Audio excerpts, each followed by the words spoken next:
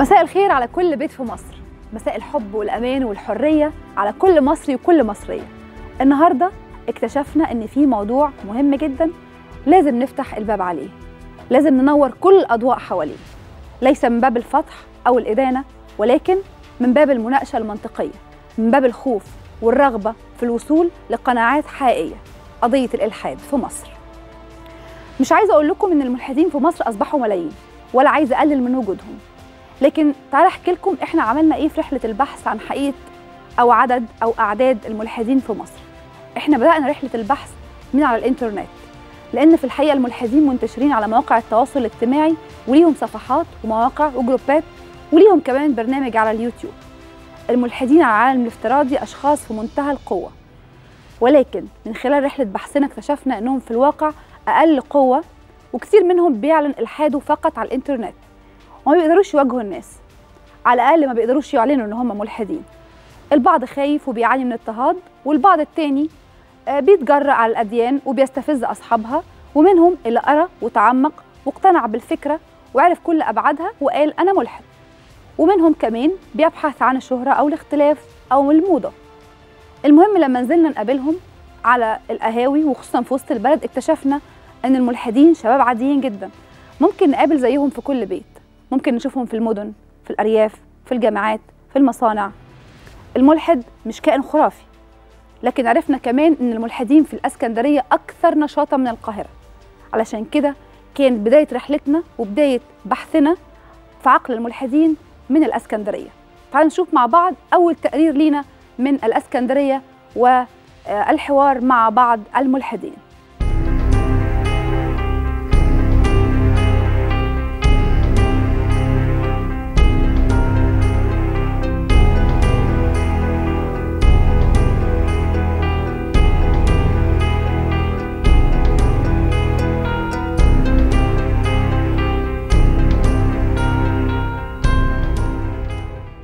الظاهره محتاجة إن إحنا نتوقف عندها محتاجين نفتح قلوبنا للشباب دول محتاجين نسمعهم محتاجين نعرف يفكروا إزاي.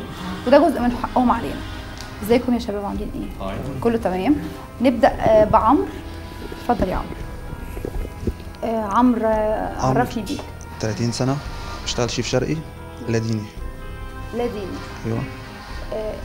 إمتى اخترت إنك تكون لا دين إمتى؟ أنا ما اخترتش الموضوع بدأ معايا من وأنا عندي 12 سنة. كان ليا جار دكتور. كان بيعرفني أقرأ إزاي أقرأ إيه. بدأت أقرأ بدأت أعرف.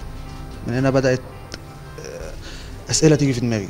بقيت أسأل أسئلة كتير لنفسي. الأسئلة دي متعلقة بوجود إله أو هو مش موجود. فبدأت أقرأ بدأت أعرف. ها. وأنت عمرك صغير قوي وأنا عمري 12 سنة. ها.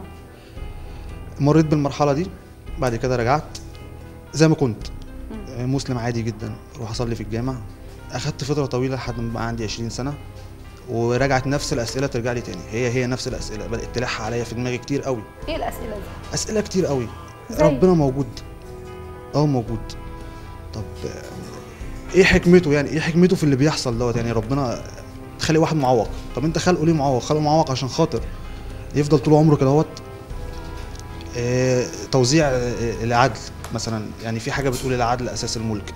طب فين العدل في اللي إحنا عايشين فيه؟ في ناس عايشة بتاكل من الزبالة في ناس نايمة في الشارع في حين إن في ناس تانية راكبة عربيات بملايين في حين إن في ناس تانية قاعدة مش شاغلة دماغها بأي حاجة في الدنيا غير إن هي تاكل وتشرب وتتمتع في الحياة. وفي ناس مش لاقية تاكل. بعد كده بدأت أجيب كتب أقرأ آه، أفكر في في الحاجات اللي موجودة في الكتاب. فبدأت ألاقي في تناقضات في القرآن نفسه. في آيات بتناقض بعضها. في حاجات عن عن حياة الرسول مثلا إحنا ما نعرفش عنها أي حاجة أو المسلم العادي ما يعرفش عنها أي حاجة. زي إيه؟ زي أزواجه ملكه اليمين زي غزوات حاجات كتير قوي حاجات كتير قوي يعني لو هنتكلم فيها عايزين نقعد نتكلم فيها أيام.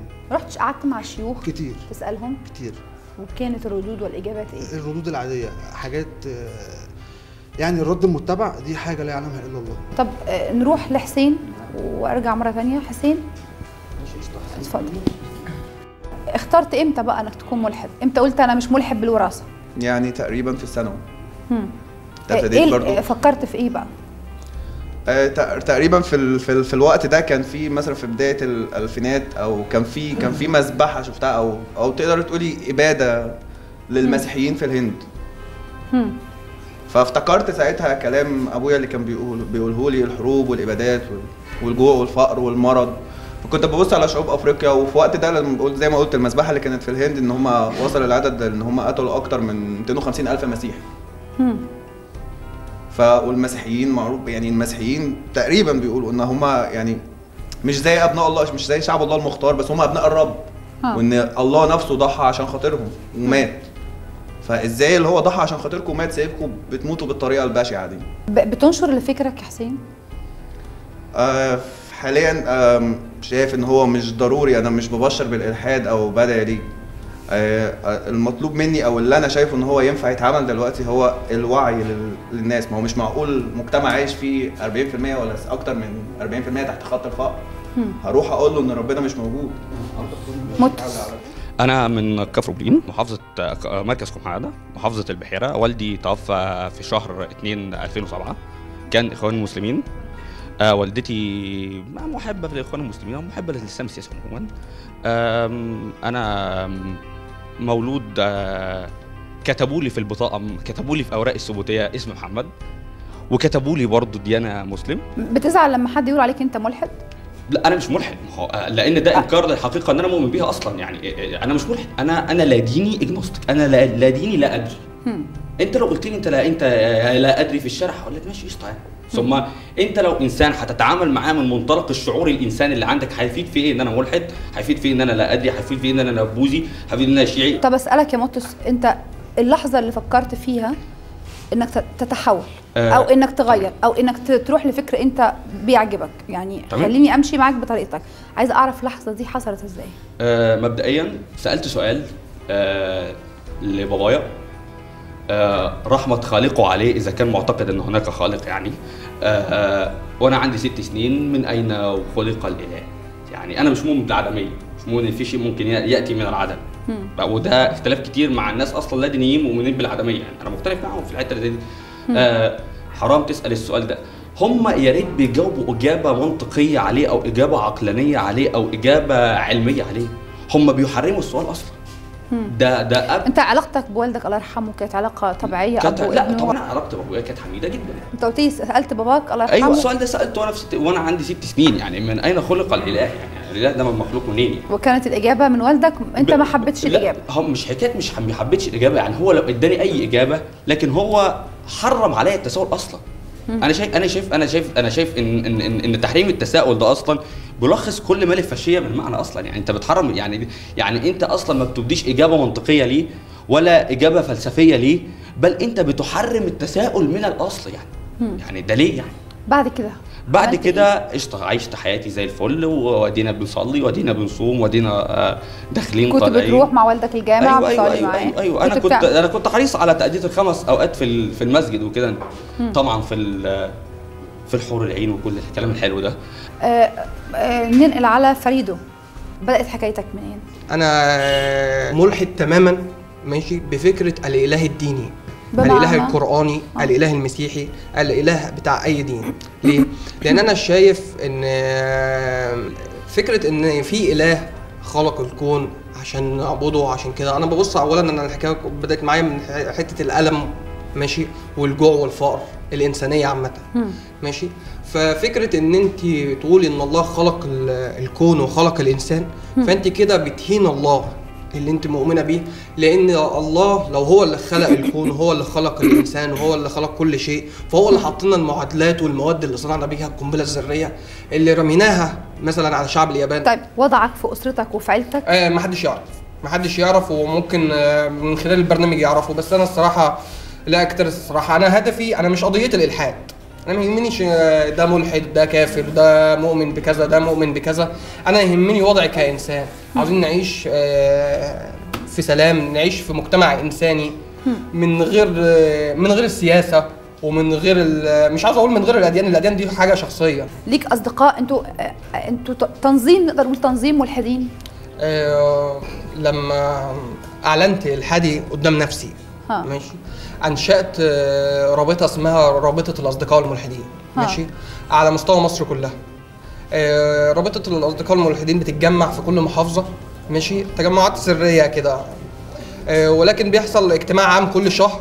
ماشي. في منطقة. وعملنا ثلاث اجتماعات في اسكندرية والقاهرة. تقريبا قد إيه؟ في الرابطة؟ لا العدد آه، كبير. لا بس أنا ما أقدرش أديك حصر ما للعدد أقدرش أقول حاصل على طب هروح لشريف. أنت آه، أصغر أصغر واحد ملحد في المجموعة هنا معلن. هو في أصغر مني كمان. في انت أنت عمرك. قد إيه؟ أنا 17 سنة.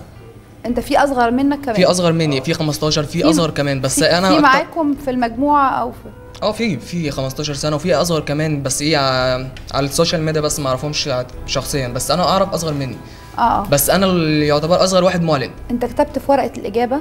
آه إن في أنا مش مؤمن بالإسلام. ومش من حقهم إن هم يمتحنوني في دين أنا مش مؤمن بيه أو أنا ما اخترتوش أصلا. احكي لي أنت دخلت الامتحان كنت في سنة كام؟ وورقه الأسئلة جات لك بتاعة الدين ورقة الإجابة عملت إيه؟ كان الترم الأول. ساعتها الورقة كانت قدامي قعدت طول اللجنة أفكر أعمل إيه إيه اللي المفروض أعمله احل وخلاص وأستسلم ولا آه، اتمرد على المفروض يحصل يعني. كنت بتذاكر قبل كده الدين؟ آه طبعا كنت بذاكر طول عمري وطول عمري مؤمن بيه ومقتنع بيه بس كان في حاجات مش داخلة دماغي يعني طب زي خلينا بس الأول لحظة الامتحان. تمام. آه لحظة الامتحان قعدت في الآخر في آخر اللجنة خالص آه وصلت إن أنا مش هينفع أستسلم آه إن أنا أحل دين أنا ما اخترتوش ولا أنا مؤمن بيه. ها. وفعلا كتبت إن أنا مش مؤمن بالدين ده وإن أنا مش من حقهم إن هم يمتحنوني في الدين ده. بس. فتاني يوم المدير جه كلمني وقعدت معاه شوية سألني في الدين شوية. بعد كده آه، قال لي اللي أنا عملته مش هينفع يتعمل يعني هيبقى هو- آه، ليه آه، أضرار كتير عليا. إن أنا هيضطر هو يودي الورق أو يودي اللي حصل ده ال- الاداره أو حاجة زي كده. وبعد كده هم بقى يردوا يقولوا هيعمل إيه؟ لأن أنا حاجة مش مع حاجة ما حصلتش قبل كده. فقال لي الأحسن إن إحنا نشيل الورقة دي وأدي لي ورقة تانية أكتب فيها السؤال الأول السؤال التاني بس كده يعني راس إس- اسم كلمة السؤال الأول بس والسؤال. التاني. آه. وآخد الصفر أو أسقط يعني في الترم الأول والترم التاني أحاول أعوض.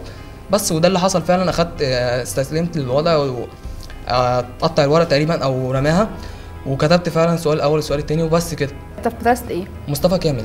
مصطفى مصطفى كامل. كامل ثانوية بني آه. في اسكندرية في اسكندرية آه، آه. في أكتر من حد ملحد معاك أنت تعرفه أو آه أنا عرفت إن المدرسة قريب يعني إن في في المدرسة واحد ملحد وعرفته شخصيا ها بس هو أكيد فيه أكيد هم. لأن كتير قوي يعني موجودين يعني بقابلهم في كل المدارس تقريبا فهم موجودين بس مش معلنين ومحدش يعرف عنهم حاجة هم. وحتى مش مصرحين بأفكارهم لما بيحاولوا إن هم يلمحوا. بيحصل لهم مشاكل كتير جدا من الهجوم مجرد التلميح بس هم. ف ما حدش بيقول. أنا أول واحد قلت وقلت قوي يعني. آه، شريف آه، أنت آه، كتبت على صفحتك على الفيسبوك إنه أنت قدرت تقنع أكتر من حد ان هو يكون. يعتنق نفس الأفكار أو يبقى ملحد. آه في أشخاص كتير جدا كلموني في الأول كانوا عايزين يفهموا أنا بفكر في إيه. هل أنا مقتنع بده ولا أنا ممكن موضة أو حاجة زي كده. فأنا فعلا كنت بكلمهم وبشرح لهم أفكاري وبعد كده اقتنعوا بيها. أعمارهم قد إيه؟ هل هم أصحابك؟ آه في في لا أصحابي ما فيش حد منهم اعتنق نفس أفكاري بس في اللي عرفتهم في في سني في أكبر مني في كليات ممكن في كان أكبر واحد منهم تقريبا حاجة و30 سنة بس اتكلمت معاه أنت اللي أقنعته؟ آه أنا اللي أقنعته هو اللي بي- كلهم بيبدأوا كلام معايا أنا ما بروحش لحد وأقول له أنا عايز أقنعك بالإلحاد أو تعالى أنا عايز أقنعك بحاجة تانية أو تعالى أنا عايز اكفر أخليك تقتنع إن دينك غلط. أنا مش بدعو للإلحاد ما فيش حاجة اسمها دعوة للإلحاد لأن الإلحاد مش دين أو مم. عقيدة. الإلحاد ده موقف فكري من الأديان. هم. فأنا دلوقتي ملحد مش همشي في الشارع تعالى أنا عايزك عايز أفهمك حاجة دينك غلط وكده. لا اللي عايز يكلمني ويسألني عن افكاري أنا موافق. أهلك عرفوا إنه أنت ألحدت؟ آه اعرفوا آه، عرفوا عرفوا إزاي؟ واحكي لي رد فعلهم آه، أنا قلت لهم يعني كانت صريحة جدا ما فيش ولا لف ولا دوران. قلت لهم أنا ملحد أنا كفرت بالدين.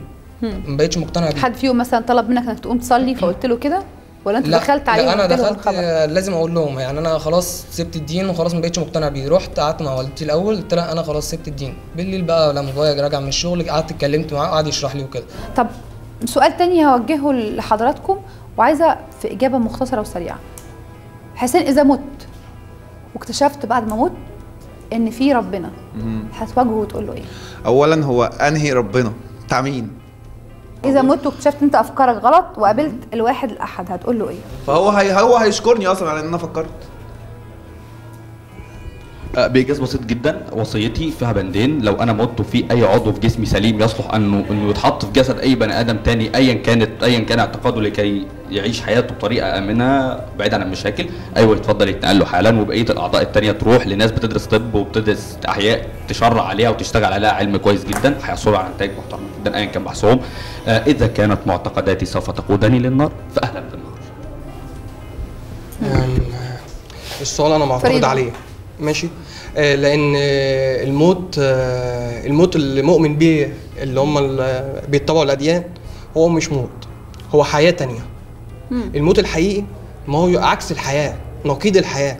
فازاي بتقولي لو أنا مت آه هقابل إله. خلاص أهلا أهلا بالنار برضه شريف أصغر أصغر. ملحد في مصر.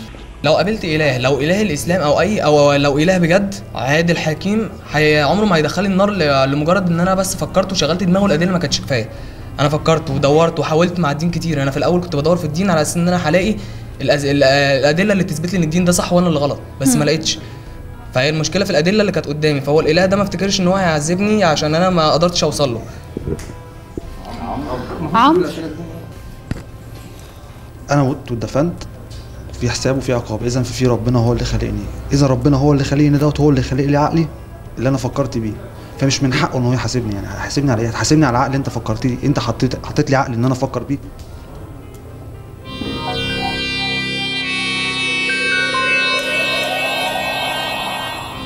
انتظرونا بعد الفاصل. ومواجهة بين دعاة الإلحاد وحماة الإيمان في الدين الإسلامي والمسيحي. انتظرونا بعد الفاصل مع ضيوفي.